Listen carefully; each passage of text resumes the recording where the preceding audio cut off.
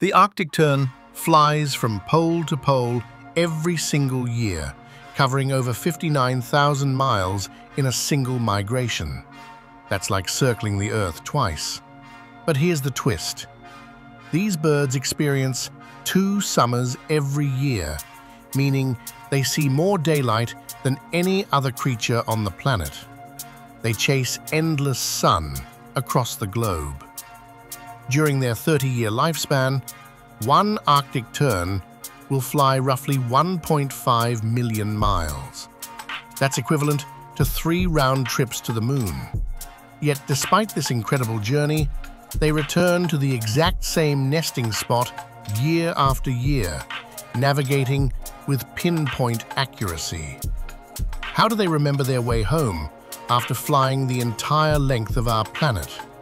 Follow Critterbits for more astonishing bird insights.